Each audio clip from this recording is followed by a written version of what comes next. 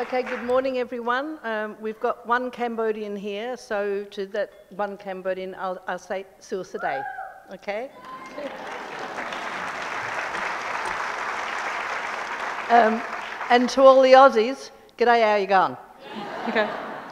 Um, I'm the daughter of a, an Australian milkman, and I'm very proud of my blue collar upbringing. In my early 20s, I found out that I could never have children, so I joined the Department of Foreign Affairs, um, hoping to have a life of glamour and travel, and I envisaged flying around the world, working in embassies and wearing black cocktail dresses and getting seduced by James Bond types. But it turned out that my first posting was in Phnom Penh just days after uh, the Vietnam War reached the country, so it was anything uh, that I was expecting.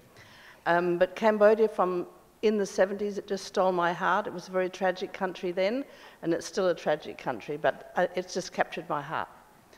Um, and in, uh, during that time uh, with Foreign Affairs, I worked for ambassadors and diplomats. After Cambodia, I went to the Philippines, had five years there.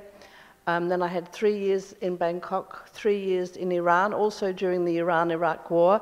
I think Canberra must have thought she likes war zones, so we'll send her to them. Um, and then I went to Washington, D.C. for three years, and that was the most dangerous of all my postings, I have to tell you. Living in Washington's um, a bit scary.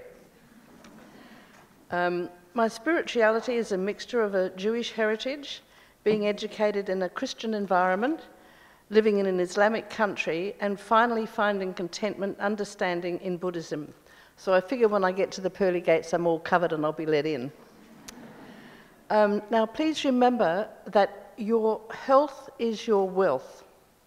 What's the point of getting to a great place in your career if you get sick doing it? Why be the best businessman in the hospital ward? Why be the richest person in the cemetery? I often think of Steve Jobs, who died of cancer, and if anybody had enough money um, to pay for a cure, it was him. So um, your health is your wealth. Um, my five year battle with breast cancer was something I was totally unprepared for. Um, I've always been as healthy as an ox, so in 2009 when I had a double mastectomy, it was a bit of a shock. It did take a toll on my health, but um, I've been two year cancer free and looking forward to a healthy. Uh,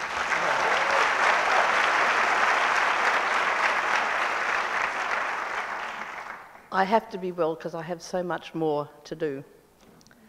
Um, Cambodia gives me all the mystery I could ever want. Every day I know I will cry, get angry, laugh, get frustrated, be amazed, confused, and also thankful. One thing I often say to myself is never delay joy. And I work hard to live up to this every, every day. You can find joy in every day if you're looking for it. And I say to people who ask me why things aren't going right for them, I say to them, everything will be all right in the end. And if it's not, then it's not yet the end. So, you know, it's a very um, good thing to be optimistic in your everyday life. We see on television and through the print media the things that we should have and own, and it's difficult to ignore this. My kids um, now have access to YouTube and the internet, and they see all, all the material things um, that I wish they didn't see because they're never going to be able to have them. Um, and for 18 years, I lived a privileged life working in Australian embassies around the world and then for Chase Manhattan Bank for eight years before I came to Cambodia. But I distinguished myself most in Iran, where I managed all by myself to marry the only alcoholic Shiite Muslim in existence. So I apologise to the Muslims here today, it was just bad judgment on my, on my part. Um, I enjoyed first class travel, elegant apartments, maids, security guards, chauffeur-driven cars to work. The social work in, the, in the, the political part of the embassy was fascinating. I mixed with diplomats and high government officials. It was all very exciting. Um, I lived life to the fullest and then some.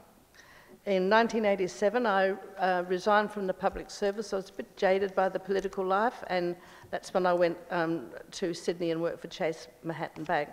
Um, and when I lived and worked in Sydney, I never gave to any charity of any kind. If you're a Sydneyite, you'll know that every Friday the Salvation Army goes down uh, to meet the ferries when they come in to go to work. And for eight years, I walked around the men with the collection tin because nobody was getting my 50 cents. Everything was for moi, everything was for me. Um, so uh, I was bored in my job, and eventually my boredom uh, was pretty evident from the quality of my work, and I got fired um, in 1995, um, a week before my 50th birthday. And um, I had not prepared for anything like that. Um, I lived from paycheck to paycheck, which was, you know, I could do very well on that. And there I was in 1995, fired 50, um, and another F that I won't say here today. Um, and I thought, what am I going to do? I don't want to go on the streets of Sydney at the age of 50 trying to compete with lovely blonde 25, 30 year olds for a job. So um, it was the universe telling me it's time for change. So I remembered that the um, new Prime Minister in Cambodia was Prince Norodom Ranariddh, who was the son of King Sihanouk, and he'd just been voted in uh, under the UN elections in 1993. And when I was there in the 70s, this is how, how coincidences in life can really work for you. In the 70s, he and his wife, Princess Marie, were the landlords for my embassy apartment. So I used to go every month and give the prince and the princess the, the, the monthly rent. And I'd say, look here, um, prince, my toilet's broken down. Can you get somebody around to fix it? You know? So I won't say we were close friends, but we had a relationship. So uh, when I was trying to decide what to do with my life, I rang him up and I said, look, you remember me, I was your tenant. Um, I've, I'm now 50, but I've got a lot to offer. Is there something you can give me? So um, he offered me a job in his small cabinet. And um, Einstein said that coincidences are God's way of remaining anonymous. And there I answered his English correspondence, I wrote some speeches for him, and I completed their security and protocol manuals. And on the weekends, I spent time at his wife's orphanage being with the children that were destined to become my life. Let me share with you some of the things I value in my life as wealth and abundance. Many of these notions of wealth and abundance will resonate with you. But most of, this, most of us take these riches for granted. Having the unconditional love of a child, never having experienced hunger, being born in a country that has never had a war fought on its territory or been occupied by a foreign power being able to criticise politicians privately and publicly without fear of arrest or assassination, knowing that a fireman will arrive to fight your fire in your house without ha having to pay them cash first in advance, as happens in Cambodia. Being born in a country that has a reliable, experienced, and trained ambulance staff. Um, in Cambodia, the ambulance drivers moonlight, and you'll see them the, uh, during the day delivering beer to bars. So if you, if you need an ambulance, you've probably got to book your accident in advance um, to get one to turn up. Knowing that your political elections are free and fair and not plagued with corruption. Surviving breast cancer. Being able to travel knowing I'm raising money for Sunrise Cambodia at the same time. Enjoying the creative pleasure of writing. I'm writing my, my second book now knowing that I'm fulfilling my destiny. So many people go through their whole lives and they never really get to do what it is they're here for. Waking up in the morning and loving everything that I have to do that day. Uh, I don't know when it's a weekend and um, a, a working day because when you're a mother, you don't say to your kids on Friday night, look, you know, it's the weekend, I'll see you on Monday. You know, they're, they're there all the time. And most of all, eventually realizing that stuff does not make you happy. I hate all the stuff you could possibly imagine a mink coat, jewellery, first class travel, catered for dinner parties. But I'd go to bed at night after, you know, a day of materialism, and I'd lie in bed and I'd think, is, is that it? Is that all there is? So do know that, you know, I loved my stuff and I've still got my stuff, but it doesn't really make you happy. Our lives are determined first by the country we're born in. If you were born in the West, your life's pretty much going to be okay. But if you were born in rural Cambodia or the backwoods of Bangladesh, you can be reasonably sure that your life will suck. Cambodia, it's a very different world. And to remind you of why everything is in such tatters, let me give you a thumbnail history of the country. Before 1902, the, when the country was a French protectorate, Cambodia was an almost unknown, peaceful, rice growing rural paradise. Under French administration, the people had little power over their day to day lives until King Sihanouk negotiated independence from the French in the mid 50s. It was to be a new beginning, but Cambodians were given, given very little time to make a success of nationhood. The French had installed a perfectly good system of education based on the French system, which basically fell apart with the start of the Vietnam War in 1970. Not many people know this, but more bombs were dropped in Cambodia than in Japan during World War II, when under the rural carpet bombing inspired by Nixon and, and Kissinger more than one million innocent people. These are farmers and villagers, not, not related to the war or soldiers. So, on top of the two million that were killed, there are a million of innocent people that were killed by the carpet bombs. Um, and from 1970 to the early 90s, the education system was in a complete shambles. All the universities stopped during the war. And the next step backwards in Cambodia's tragic history was in 1975 when the infamous Khmer Rouge, under the leadership of Pol Pot, took over the country with disastrous impact on almost every aspect of human and Cambodian society. In just four years, from 75 to 79, listen to this. Anyone who had attended a school over the age of seven and who wore glasses were put to death just because it was known that they could read and were educated teachers, doctors, architects, engineers, lawyers, journalists, artists, public servants, everyone that they could find that were pillars of society or who worked as a professional were assassinated or, or put in labour camps where they died of starvation or hard labour. All money was burnt. The family unit was destroyed, and husbands, wives, and children were separated and put to work in labour camps and una unable to ever see each other. Pagodas were burnt, monks were murdered, religion was abolished. Libraries, all books, and even the register of births, deaths, and marriages were destroyed. People were reduced to an animal like level, often with farm animals being fed more food and treated better than people. Out of a population of 7 million in 1975, an estimated of 2 million were killed through assassination, starvation, torture, or hard labour. Never in recorded history had a population of people been so completely decimated and destroyed by their own people, and a new word was entered into the dictionary auto genocide. Every day in modern Phnom Penh, there is virtually no person who did not lose a close family member during these horrendous times, or if they survived, are living with memories so tormenting that many of them cannot function normally. Um, they suffer from depression, um, hypertension, they suffer from guilt complexes because they survived. And it's not an exaggeration to say that all the survivors of the killing fields are suffering from these post traumatic stress disorders, which are not being treated because there are no psychiatrists or psychologists in Cambodia. They were all murdered.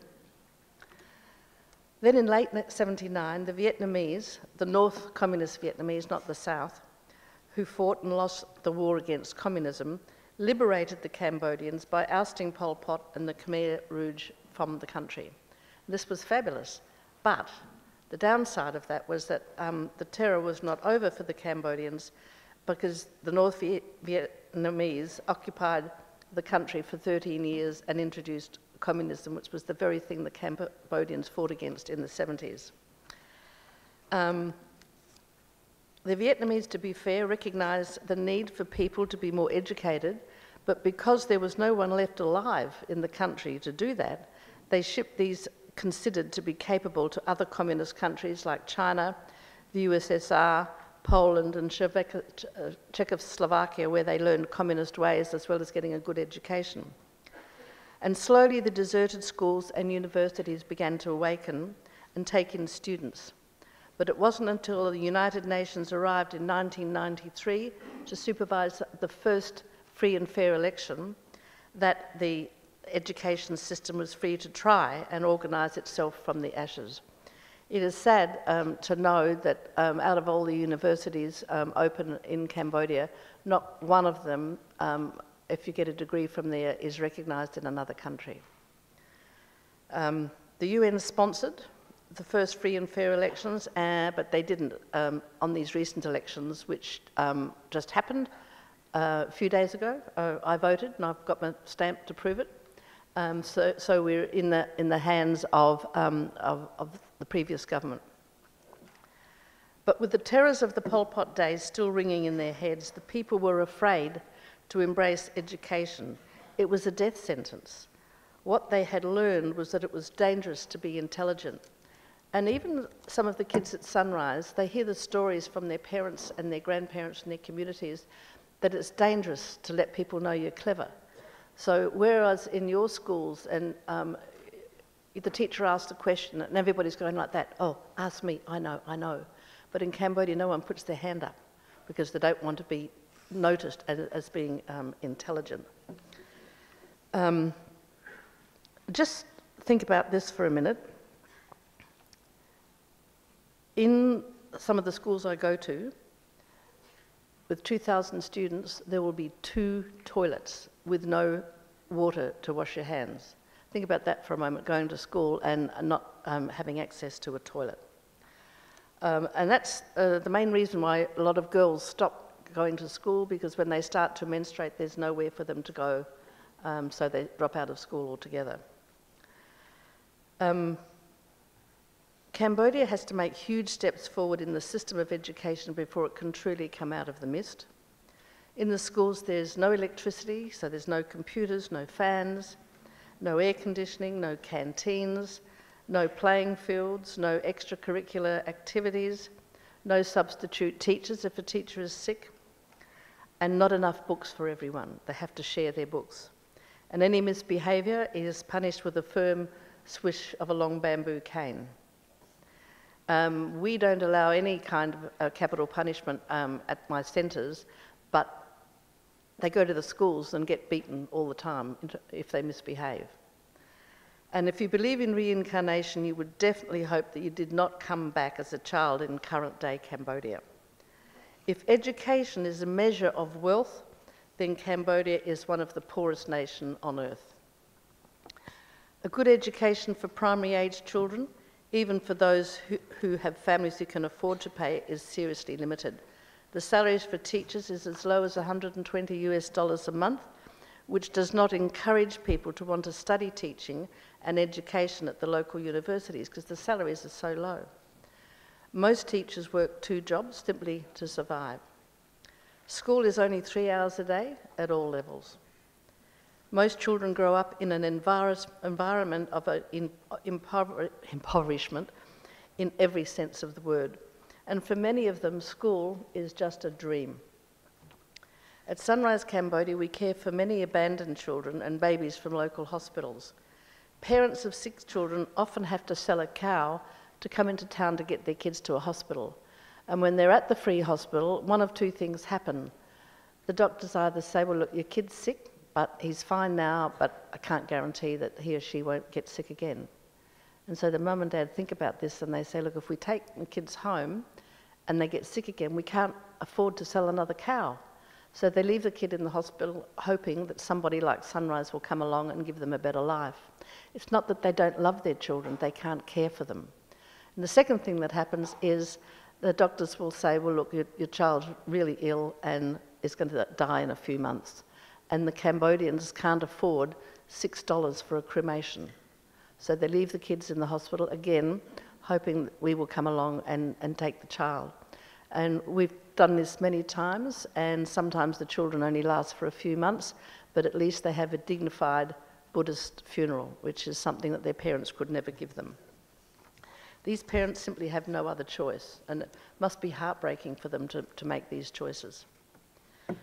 Um, our response has been to provide residential care for highly vulnerable children with HIV AIDS TB, polio, hepatitis B, brittle bone disease, varying degrees of cerebral palsy, mental and emotional conditions, and a, a disease called acquired aplastic anemia, which is a blood cancer caused only by the spraying of Agent Orange by the Americans in the countryside.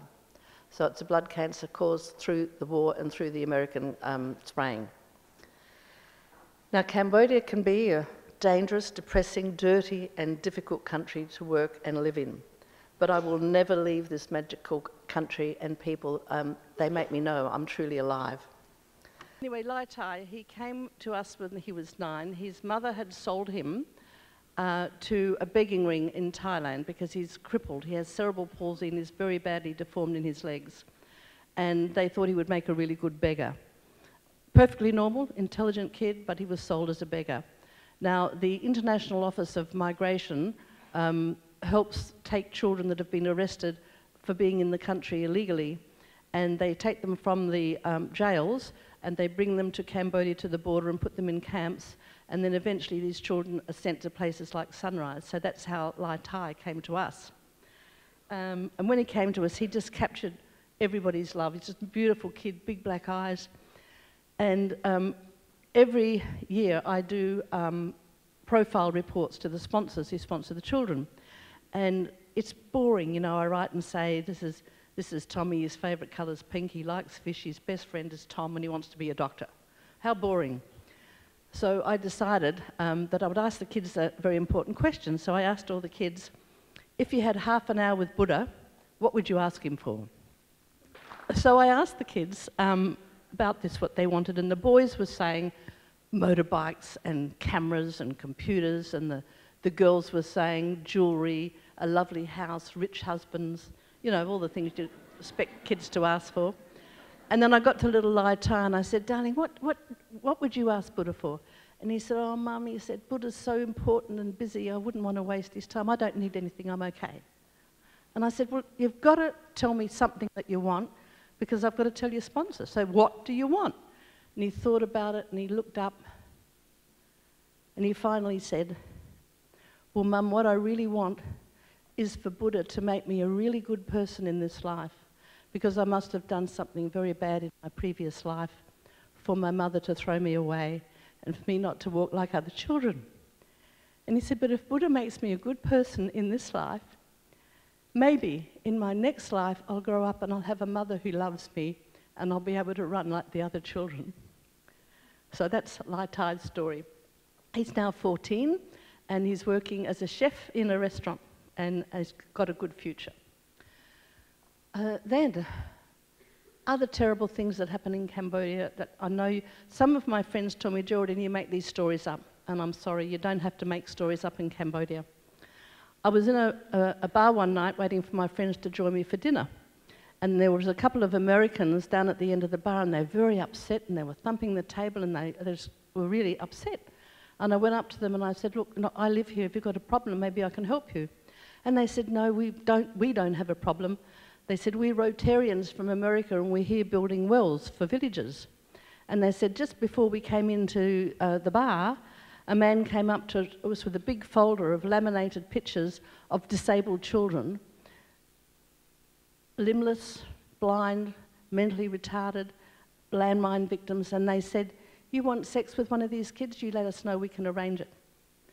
And I thought, what has the world come to where there are people, men, out there who would want to have sex with a disabled child, whose lives are already miserable. And I just uh, couldn't believe it. Um, I couldn't eat my dinner that night, and I went home. And the next day, I went to the Ministry of Interior, where I've got a, a friend there. She's a woman, and she's a colonel, and she heads up the uh, human trafficking part of um, the ministry. And I, I, went to her, big, tough, leathered, leathery skinned woman with breasts down to here, and she wears a tight uniform, and she's scary. And I, I said to her, Look, I've just found out about this having sex with disabled children down at the riverfront. Can you please send some of your, you know, your private clothed police down there and arrest these people? And one big tear fell down this hard woman's face, and she said, Geraldine, we know all about it, but we can't do anything because the police are getting their cut. And so these are times when I have to say to myself, Geraldine, you can't worry and waste your precious time and energy worrying about things you cannot change. You can change the lives of the children that come into your life, but you, you can't change the big picture. So it's sad, and I know it's not happening in any other country that you live in. And then the final story again, people say I make it up. Uh, when I'm uh, flying home to Australia to fundraise money, I go to the local markets and I buy silk and knickknacks and um, gadgets and things to take back to sell at fundraising events. And I'm well known at the market. They call me Big Mum at the market. And my silk lady said to me when I was in there buying stuff, she said, um, Oh, Geraldine, she said, there's a little boy that's just been abandoned on a noodle stall. We call him Noodles. Do you want to go and have a look at him? So I went along to the noodle stall. The husband and wife were running it. And there was this beautiful baby, about eight months old, healthy, quite fat, um, big, lovely brown eyes. And I looked down at him and I said, I can't take you today. I'm leaving tomorrow to go to Australia. But when I come back in three weeks, I'll come and get you.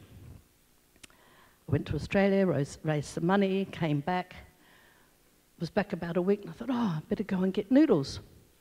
And I went to the market, and if you could imagine how I felt when I looked into his face to find that his eyes had been harvested, harvested and sold on the black market um, to people for their um, corneas. So many good stories. I've, I've, told you the worst, now I'm going to tell you the best. Um, over the years, I've been fortunate to secure scholarships for some students to study in Australia, and they've now returned to Cambodia highly qualified with degrees in nursing, media, communications, hotel management, and hospitality, and they're all now living and working in Cambodia, striving to make it a better place.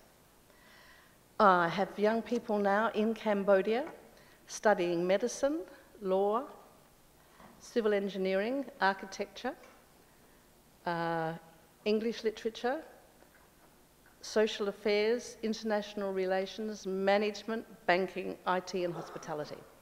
And they are just, I know I'm doing something right when I see them at university. Um, I've got a qualified lawyer, I won't have to pay legal fees for the rest of my life. Um, I've got, got a banker, um, qualified banker who's working at um, ANZ Bank, and my uh, grad, girl has just graduated from um, an international relations degree just a couple of months ago.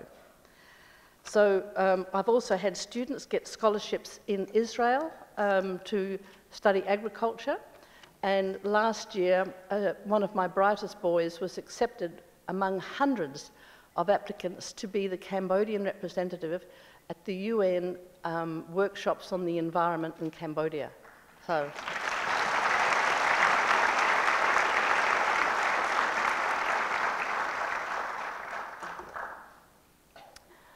Now, we also provide vocational training for those that are less academically inclined. And so we did that. He did six months in the vocational training course, and when he'd finished and in the workforce for a couple of months, I rang him up and I said, oh, let's meet, have lunch, tell me what you're doing. So we had lunch and I said, well, what are you doing? And he said, oh, Mum, he said, I work for the biggest movie company in the country. I travel all over the place to um, uh, sites to, to, to film movies. I have free food, free accommodation, and I do the hair and the nails of the most beautiful actresses in Cambodia. And then he leaned forward and he said, he's getting $800 a month, which is huge in Cambodia he leaned forward and he said, I didn't need maths or biology for that. so, yeah, I'm very proud of him. Um, Cambodians are now accessing the internet, and the older children often talk to me about what they see and hear.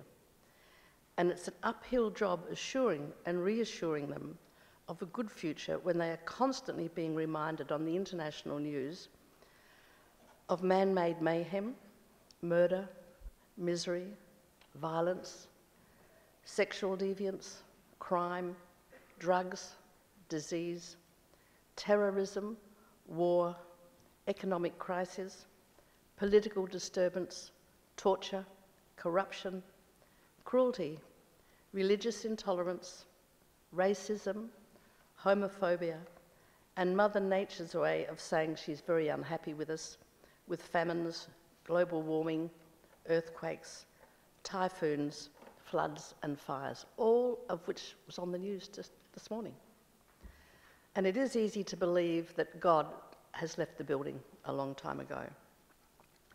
And looking out at your young and eager faces gives me hope for the world and mankind. And if I have any message for you, it is to find your passion and joy in life and to embrace it. Living without your passion is really only being half alive. And you don't have to run off to the jungles of Cambodia and find your purpose in life. It can be in bringing up a, a healthy and loving family. It can be in service to the community. It can be in the corporate world, closing big business deals. It can be in the world of academia. It can be in music or the arts. It can be through research. It can be through sport. It can be through medicine and healing. It can be in politics. It can even be in your religion. But find your passion. Maybe in this room are people who will find cures for cancer, AIDS, and other illnesses. Maybe in this room are people who will find ways to clean our rivers and our seas.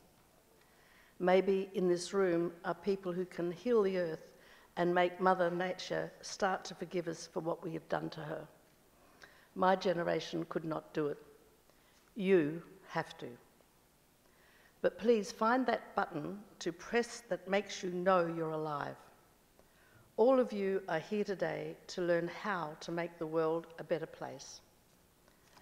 A man who has done more than any of us can dream to achieve put it so simply.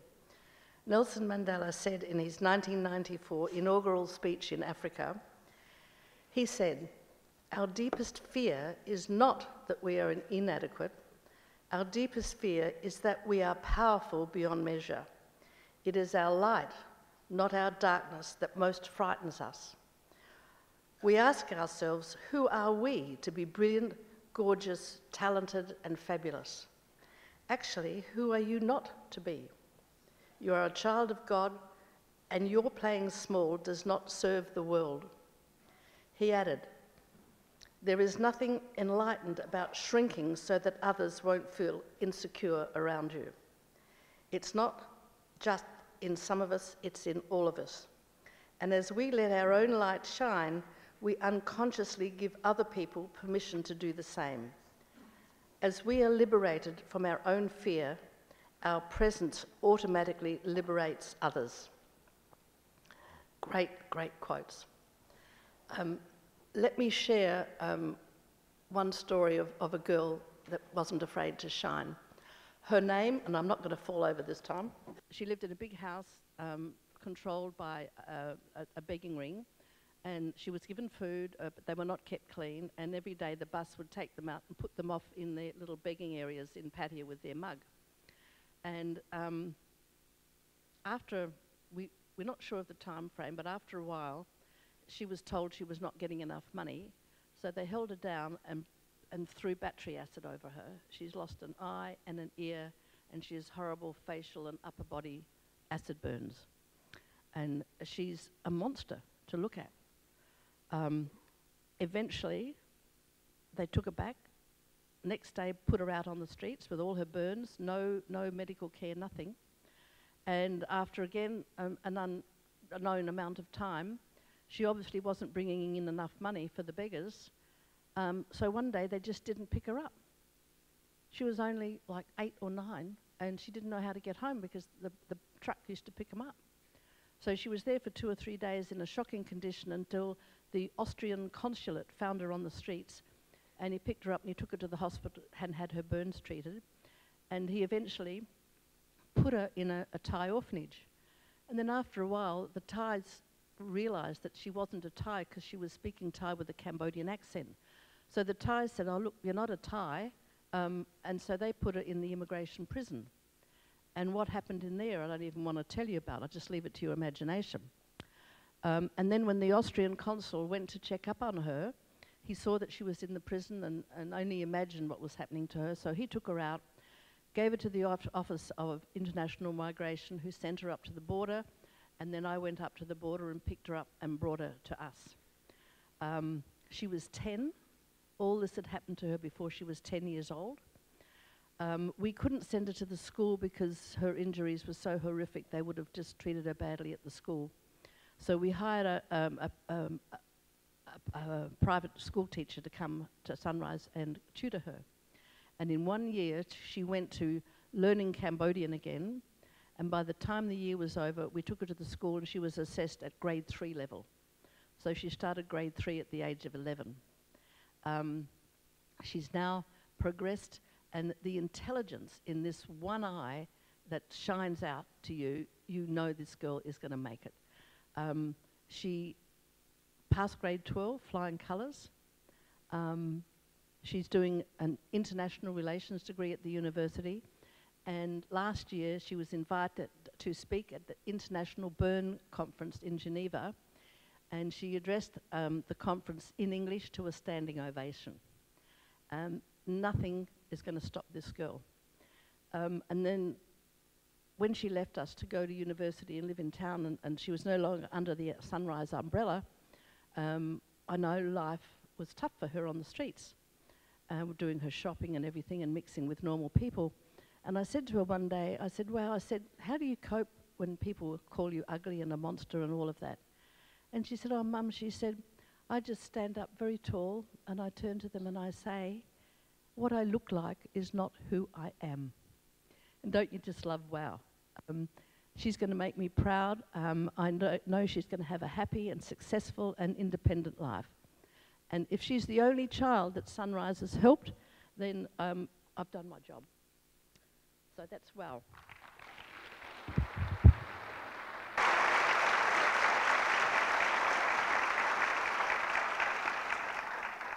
You are about to decide what you want to do with the rest of your life. Some of you may already know what you want to be. Many will not. Trust your teachers and counselors and be guided by their advice. But listen to your heart and what it tells you. It knows you better than anybody else.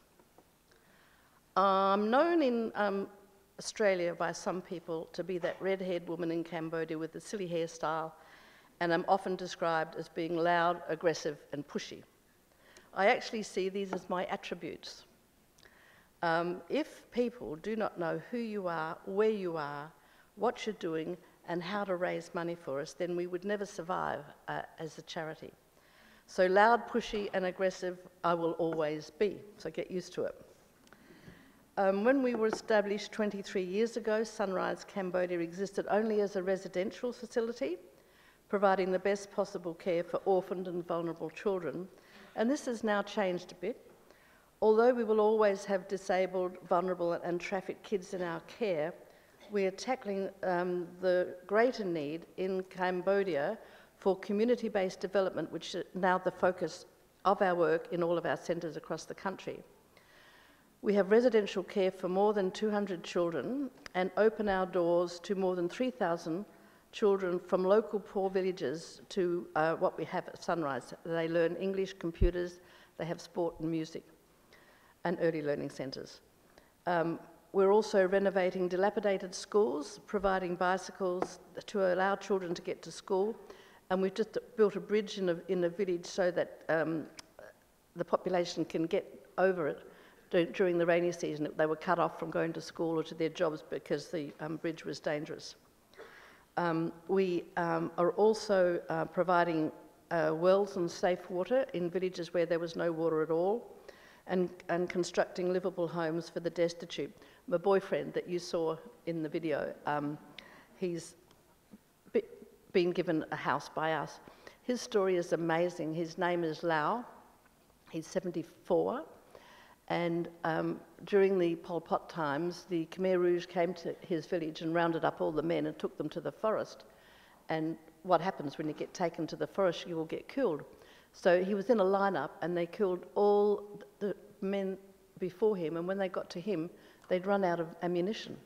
So he took off to the forest and survived, um, just because they ran out of bullets. So obviously, it wasn't his time. Um, and in June this year, we opened um, a school and bathroom and laundry facilities for children who eke out a living on the dump, which you saw in that movie. So they can at least have some education and keep themselves clean. And the transformation of the communities we are supporting has been enormous and something I'm very proud of. As a result um, of a symposium I had here a couple of years ago, I managed to capture the imagination of a group of students from the School of Chemical and Biomedical Engineering in Nanyang Technological University in Singapore. God, that's a mouthful. Are they any of them here today? No? Yeah. Did you, did you come to the centre? Because, you know, he, um, this um, university brought 30 students um, to Sunrise. Um, they paid all their own accommodation and airfares, and they paid the cost to set up a hydroponic farm for us. Um, so you guys, thank you, thank you very much. What you've done has been wonderful.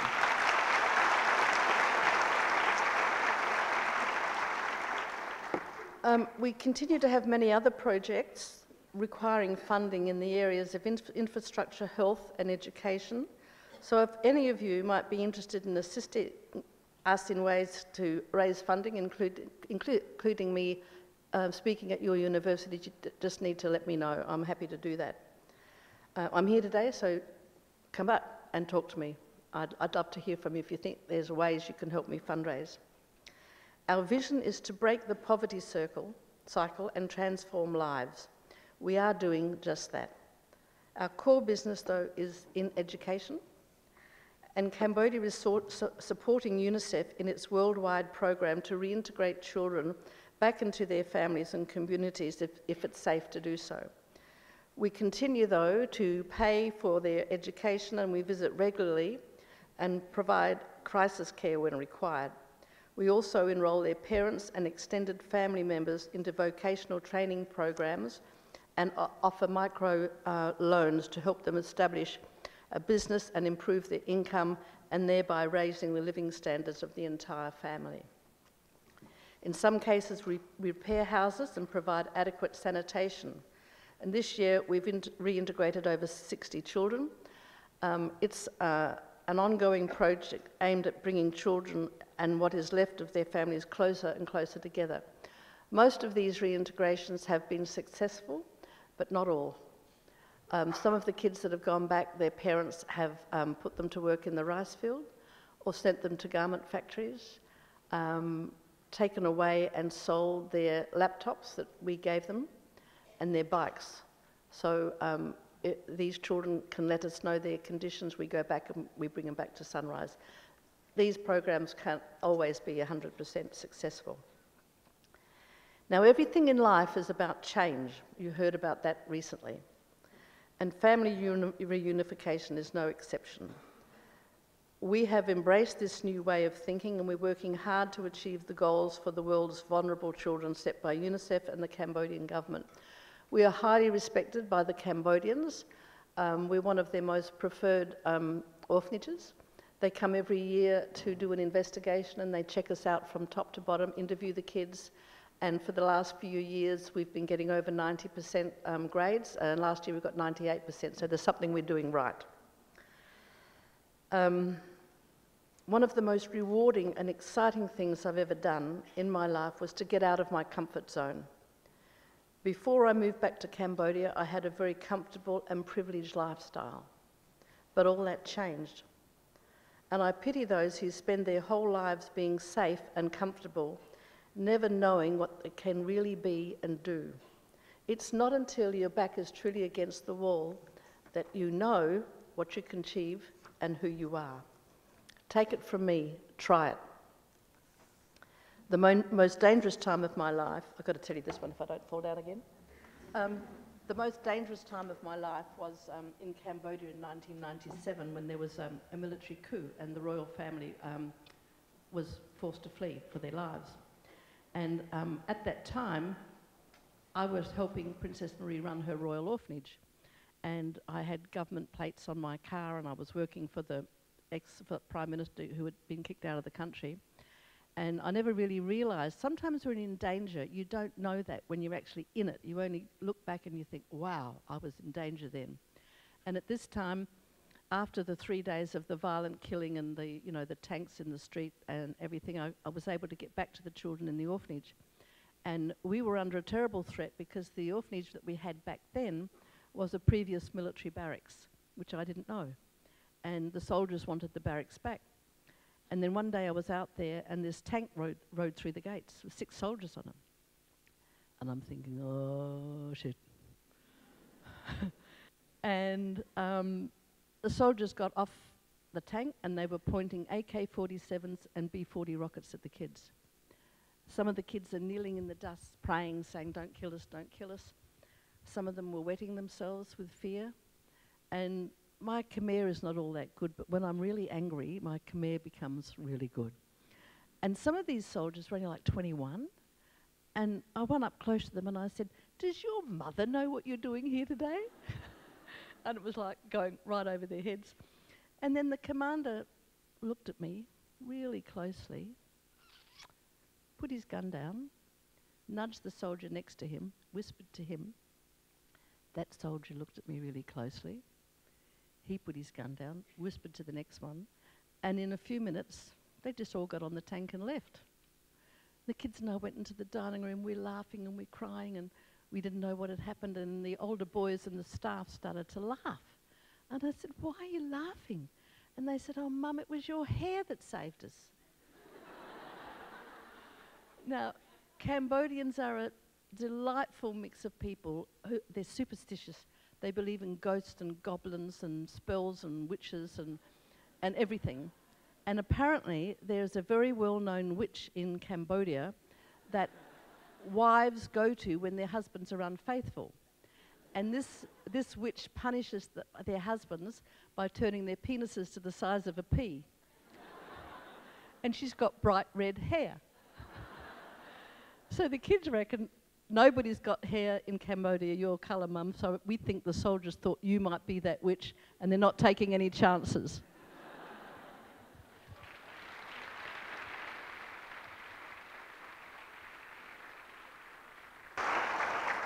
So when I uh, go home to Cambodia, I always make sure I've got plenty of hair colour in my suitcase.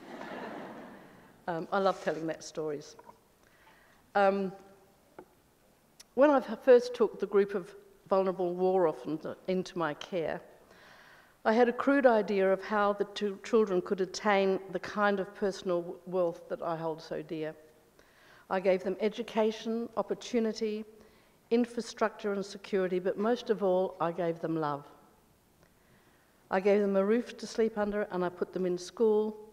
I took them to the doctors when they were sick. I protected them and cared for them and filled them with love and respect and the belief that they could be whoever they wanted to be. I've been called many things a humanitarian, a hero, a witch, that pushy red haired woman who always asks you for money, and some of these descriptions are a lot truer than others. I'll leave that to you to figure out. But something I am rarely called is flexible. Um, stubborn pig headedness and tenacity has got me everything in life and gave me the strength to rescue the children from the border of Thailand and demand that they have a right to a life that is good, fair, and filled with love. In the early years, I refused to use sponsors' money for public relations or a publicist. So I used to call corporations and trust funds and foundations and I'd say, Hi, my name is Mandy Smith and I'm Geraldine Cox's publicist if you're ever looking for a great speaker at your conference, then do consider her. You will not regret it. She's really something. call, call me back on this number. And in many cases, they have called back, and I answer the phone, and they say, Can we speak to Mandy Smith? And I say, Mandy's at lunch, it's Geraldine here. Um, can I help you? And I've got lots of gigs that way. And what I love about Mandy is that she's always there. She does what I tell her, and she costs me nothing. Um, I am totally unqualified to do what I'm doing. I left school in grade nine, I didn't even finish the year. I have no university degree, I have no qualifications. If I wanted to do this kind of work in Australia, say in the Aboriginal community or something like that, and I went to the ministries, the departments, and they'd say, Well, that's nice, Geraldine, but have you got a teacher's degree, a social welfare, nursing perhaps, anything? And I don't. I don't have anything. But when you become a parent, all you do is you shelter your kids, you feed them, you clothe them, you educate them, you keep them clean, You take care of their medical needs. You discipline them and you teach them the difference between right and wrong. You protect them, you comfort them, you wipe away their tears, you hug and you kiss them. You play with them, you make them laugh, you encourage them, you help fight their battles. You teach them to be compassionate and caring. You teach them to be kind to animals. You make them feel safe and secure. You support them. You find their talents and nurture them. You forgive them. You believe them. You teach them tolerance. You trust them. You guide them. And you tell them that they have a good future. You love them and you tell them that you will always be there for them. Now, where's the need for a university degree in all of that? If you remember anything I've said today, then remember this.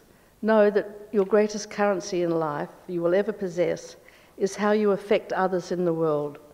So please always remember to be kind. Now, the Sunrise community knows I'm talking to you, and they've asked me to pass on to all of you their blessings. And I had a meeting with the kids, and I said, Look, I'm going to be talking to this big group. They, they might give us some money, they might not, um, but they'll certainly know about Sunrise. And I said, Have you got a message for them? So the older kids got together and they came back, had a little meeting, gave me a piece of paper, and they said, This is what you have to say. So my kid asked me to say to you that they wish you long life, health, strength, wisdom, and what we all need most in the world, they wish you peace. And I looked at this list and I said, hang on. I said, wealth's not on that list. And one of my teenagers stood up and rolled his eyes and he said, Mum, if you've got long life, health, strength, wisdom, and peace, you're already rich. You should know that. So, what I love about my life in Cambodia, it's not so much what I do for the children, it's what they do for me and what, they give back to me. So thank you very much for listening to me, and I'm hoping to hear your questions. Thank you. Thank you. My name is James Tran, and I am on a mission to remind the world and all its people to love and serve one another. So, Miss Geraldine, there is no doubt that you possess a wealth of experience, expertise, insight, and life advice. Keep going. So, my question to you my kind lady, mm-hmm. is if you could visit your 21 year old self, what would your number one advice be? And what would your number one advice be to all of us, emerging young leaders in the world, as we embark on our quest to change the world? Because I refuse for my children and my generations to live and grow up in a world where these sort of things, all the things that's happening in Cambodia, well, exist. Well, you should be a priest or a, a, a you should have a following in a church, right? You're having a really good time. Enjoy that time. My advice to you is that this is the most powerful time of your life. Don't waste it. Take advantage of it and make it work for you and help other people through it. Thank you. Thank okay. you for your question. Thank you. Thank you.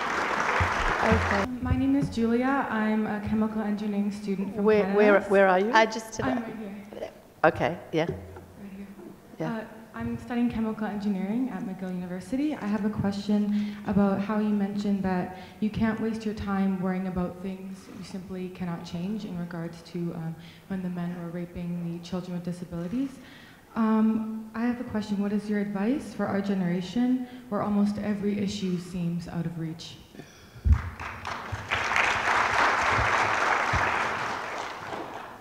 Not to give up. Uh, there have been people in the world that um, have never become famous, like Mandela and so on, who really changed the world. But you don't have to be famous to change the world. You have to believe in what it is you want to change, and you have to find ways to go about that change. But don't give up. Don't take no for an answer. I never take no for an answer. And don't be overwhelmed by the size of the problem.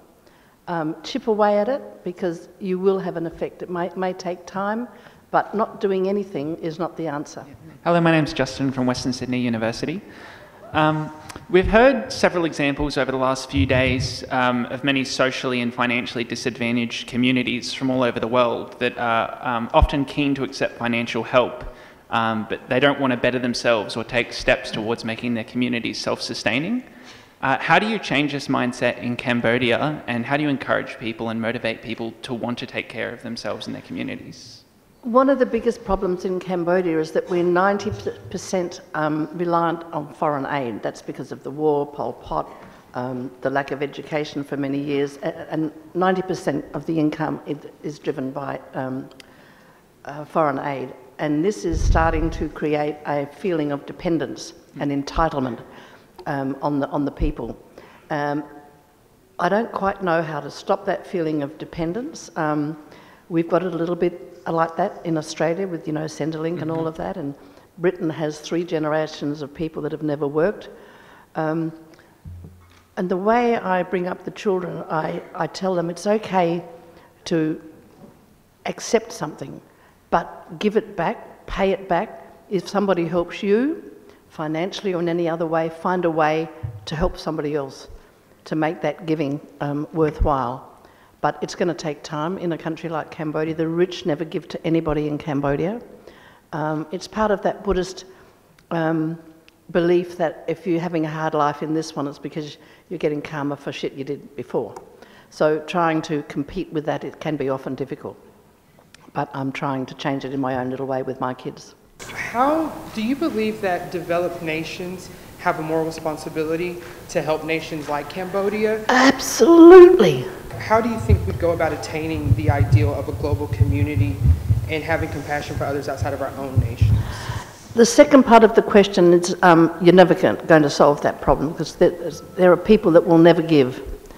Um, but people in the de- developed world need to hear things like we've all spoken about today. They, they need it shoved in their face for them to know how lucky they are, especially in Australia. I mean, we have everything. Um, you will reap the rewards of giving back, even as a government.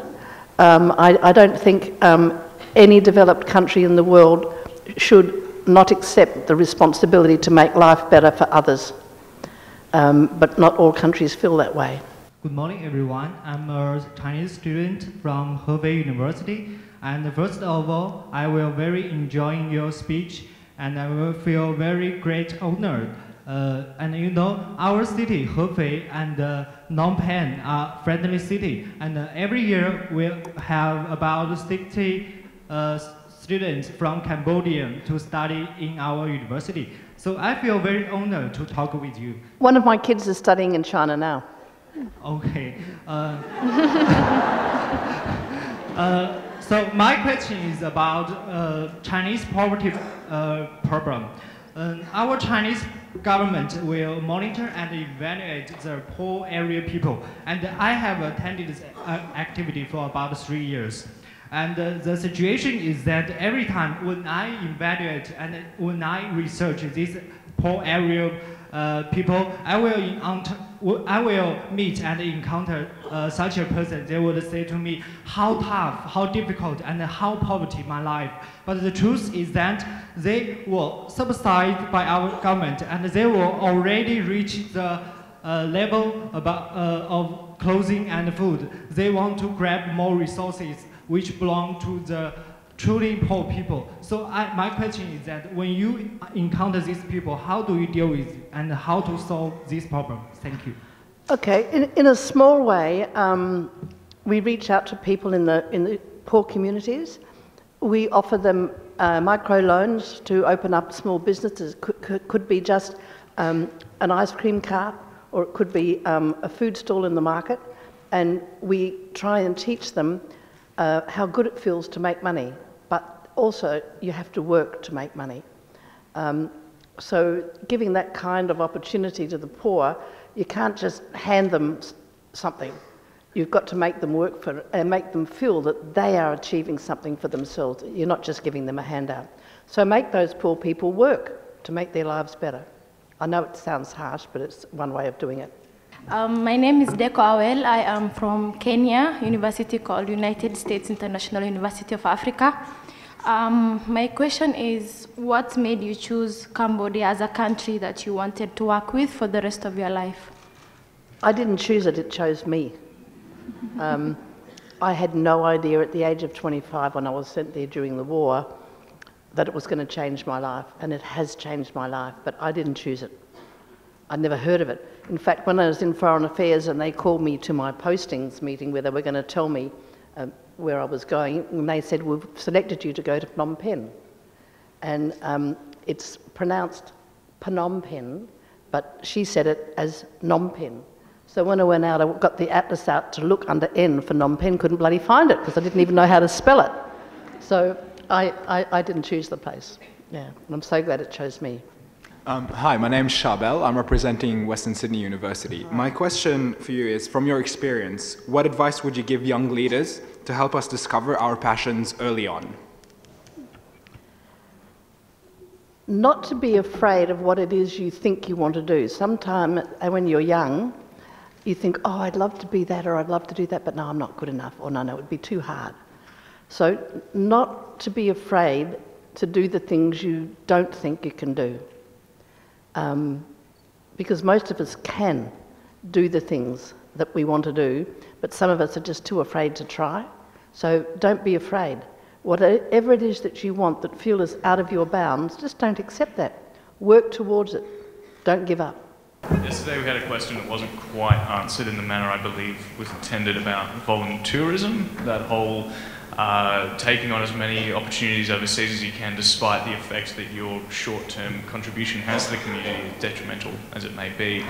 Um, and correct me if I'm wrong if you have an issue with this as well, the fact that people are just trying to pad their resumes with such uh, activities. Um, and I think this comes from a distinct lack of self-awareness that we have, that we don't actually realise how this is affecting other people and how our actions are affecting other people. So my question is, how do we bring uh, this necessary self-awareness, this reflexivity and this introspection to the community and, pardon my Australian, but without appearing to be intellectual tosspots? Yeah, you're right. Some people just want to put volunteering at orphanages in Cambodia on their CVs. And that's one of the reasons we don't take volunteers. Um, we only take people that are really, really qualified in uh, teaching English as a second language, for instance. But I get so many people that want to come and volunteer and be with the kiddies, okay?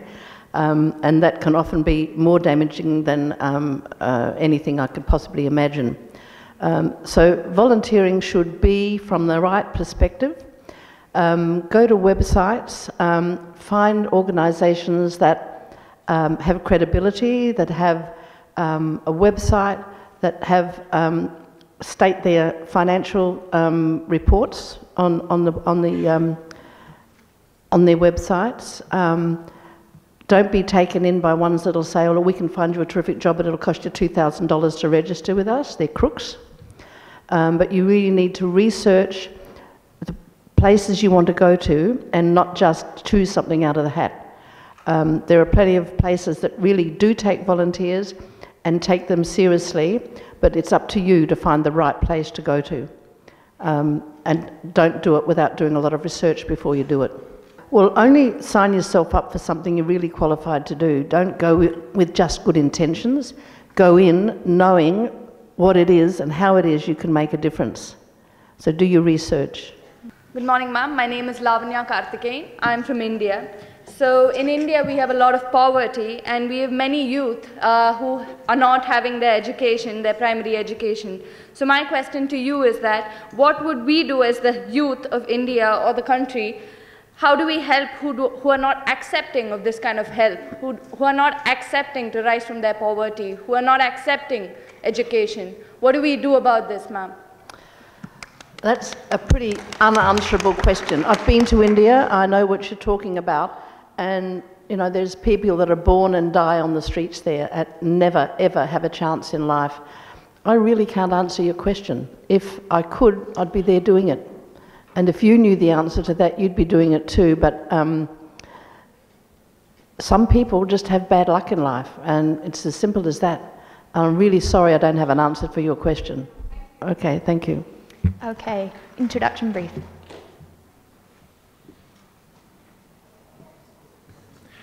Um, good morning, uh, Ms. Judy. My name is Simon Shaheen. I'm, I'm a former refugee from Syria, but I'm coming from Australia. Now, first of all, can I take the title of Margaret Thatcher and give it to you, be an Iron Woman? And uh, first of all, thank you very much for, for these amazing stories that you shared us. Actually, it made me tear in every single one of them. And I know that what you were, were saying, where you come from, in fact, the solution starts locally. And it is true, we should share your sto the stories that you've been carrying on, especially for foundations like the Gates Foundation mm. that can Sorry, eradicate thank you. Can you these. please just get to the Exactly. question? My point is this, is this, and also thanks very much for all these feelings that we carry on.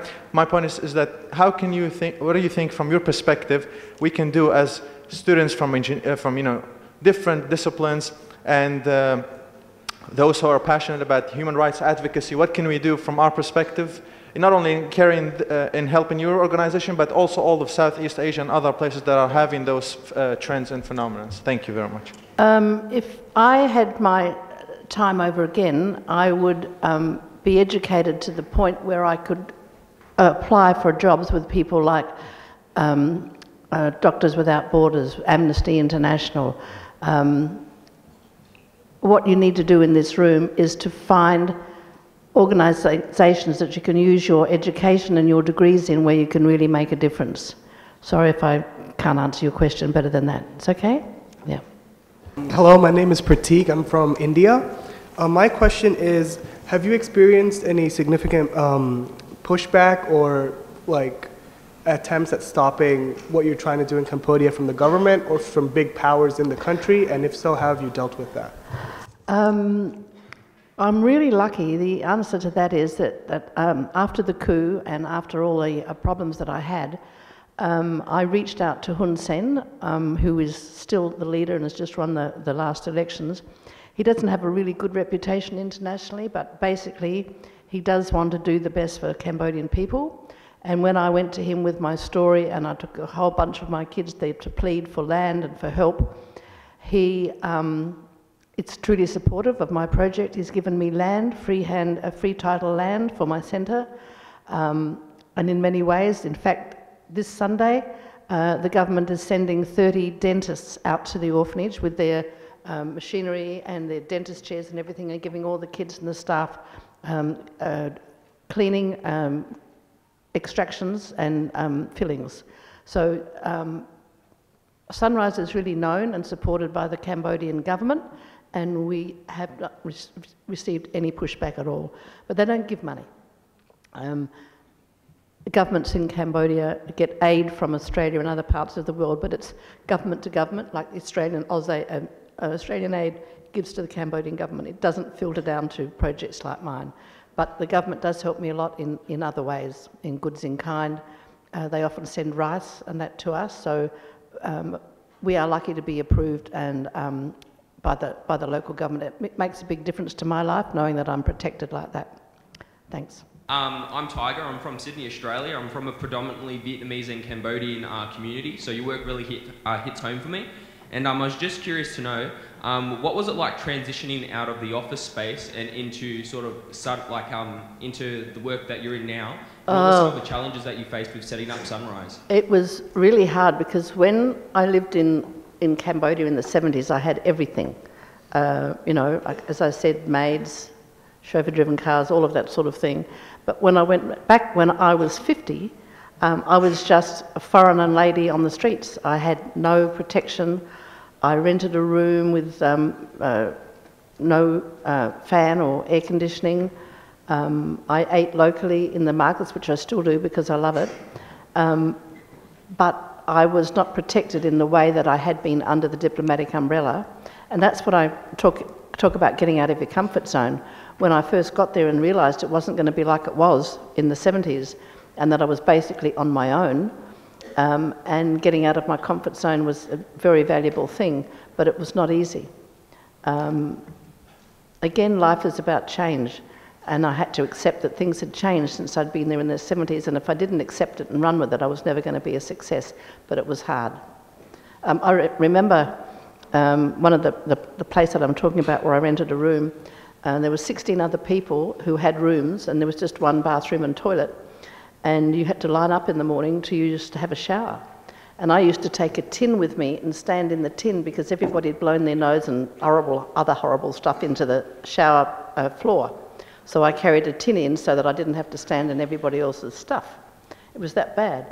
And then one day I had diarrhea and there was no way I could, I could wait to go to the toilet. So I grabbed a plastic bag and went into my room and relieved myself in the plastic bag, not knowing there were holes in the bottom of it and everything ran through the, the floor into the room below. So, you know, I, I've had to go from a life of materialism into using a, a plastic bag to urinate. So, you know, And um, in, in such an environment, how did you go about setting up uh, Sunrise?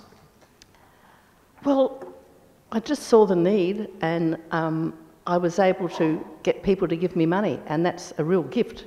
So when I got that money, that's when I had 24, 24 children when I first started up on the border. So I went back to Australia and I said, how hard can it be to give me money for 24 kids? Um, and it's just grown fr- from that. But I've used my, my talent into talking people into give me, giving me money uh, that's made my um, charities successful. But it gets harder and harder. There are 60,000 charities in Australia. I'm just one. So I, I do find that competing with other good charities um, very challenging. Um, uh, the question that I wanted to ask is that um, what helps you to always be focused on making an impact and not allow yourself to be distracted by the changes around you and in your own personal life? And is, is, do you actually meditate or do you have a specific way of training your mind to always be focused on what you uh, want to, Yeah. you know, to Um, focus on? I try not to get distracted because every day I see things that break my heart. Um, and I have to turn myself off to a certain degree. Um, I have tried meditation, but I'm so distracted with all the kids around me that it's pretty difficult. I want to sign up to do a Vipassana course, which is a meditation course in the Blue Mountains when I've got t- 10 days that I can take off. Um, how to motivate myself to do what I'm doing is I just have to look at the kids around me and see what they don't have and what they could have if I'm successful. So I feel uh, a real necessity to be successful. If I'm not, I'm failing the kids. So that's motivation enough. I just have to look at their faces every day and I say, you've got to go out there and do that. Um, I wished meditation worked for me, but it, it hasn't so far. Again, the old gin and tonic's a good replacement.